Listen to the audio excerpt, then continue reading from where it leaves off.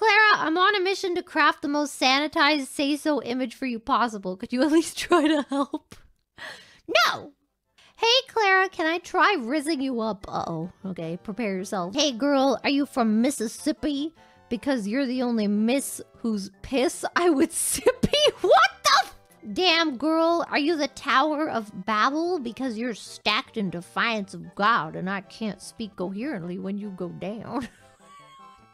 Here's my Rizz. Oh, God. Clara, you have the voice of an angel, a body made for sin, ayo, and a mind made for scientific study. you know what? 10 out of 10 for accuracy. I approve. What's a nice girl like you doing in a nursing home like this? That's Rizz that I would use when I'm going to visit your grandpa, because you won't. Gonna visit your grandpa and then sex up your grandpa. if you're insane and they don't appreciate your insanity, maybe they're just not the one. Clara is blue, Tomb Raider is neat. If your legs are tired, use my face as a seat. Damn, girl, are you an angle? Because I'm afraid. Wait, what? Did you mean to write angle or...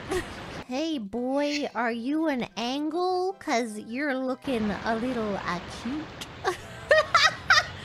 I'm such an idiot. Small correction. I meant to say angel. Can I take your derivative? I want to lie tangent to your curves. I don't know enough math for this.